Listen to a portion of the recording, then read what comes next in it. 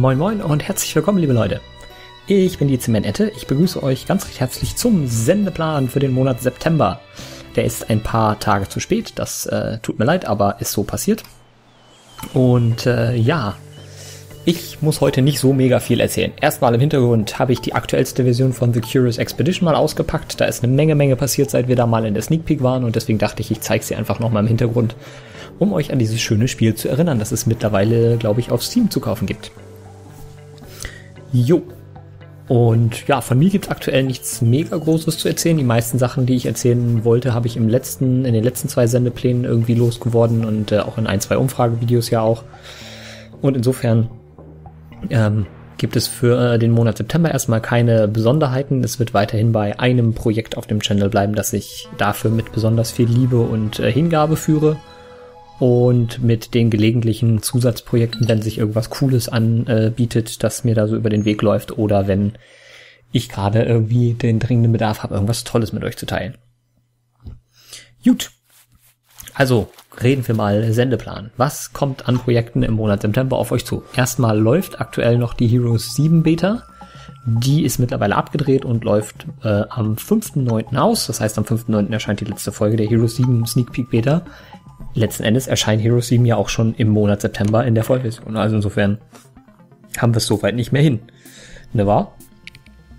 Dann läuft auf dem Channel aktuell LA Noir. Das wiederum habe ich noch nicht abgedreht und ähm, muss ich mal gucken. Aber ich bin in den letzten Folgen und ich ahne so von der Schätzung her, dass das Mitte September in etwa auslaufen wird. Ähm, zumindest macht es für mich so von der Planung her den Eindruck.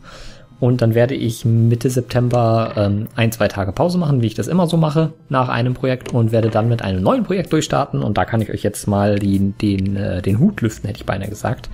Werde ich jetzt mal das Geheimnis lüften. Und zwar äh, möchte ich euch eine Spieleserie vorstellen, die mir wirklich, wirklich am Herzen liegt und die ich wirklich toll finde. Und zwar werden wir gemeinsam die Blackwell Saga durchspielen. The Blackwell Saga, also Series, ähm, ist ein Fünfteiler, also es ist so eine Art Episodenspiel, wenn man so möchte. Ähm, ist ein Indie Point-and-Click-Adventure im Retro-Grafikstil, also so im 8-Bit, 16-Bit-Grafikstil, wie es früher war.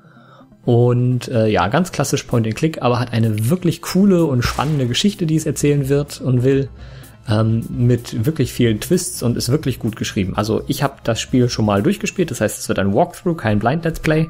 Aber ich möchte es euch trotzdem präsentieren, denn äh, wie gesagt, das Projekt ist viel zu unbekannt dafür, dass es so großartig, wie es ist, eigentlich ist. Und deswegen möchte ich es euch zeigen.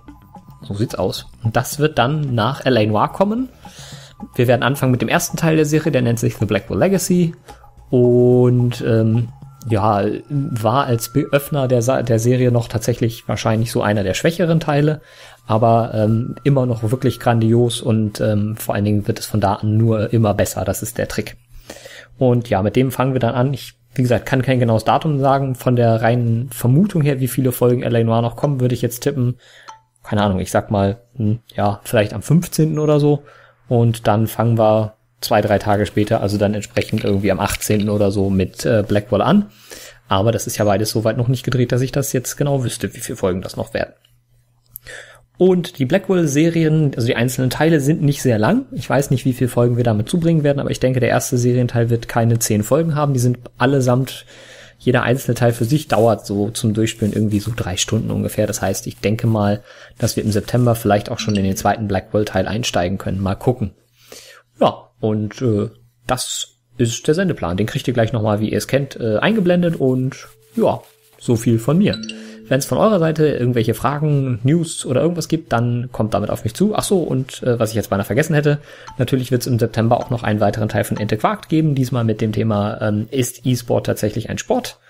Ähm, da will ich mich noch nicht auf einen Termin festlegen. Ich möchte versuchen, so ungefähr Mitte des Monats anzupeilen, aber wie ihr in der August-Ausgabe schon gesehen habt, äh, kann das sein, dass die Recherche und die Privatarbeit ähm, das Ganze auch noch mal um ein paar Tage verschiebt. Aber so Mitte September würde ich das versuchen.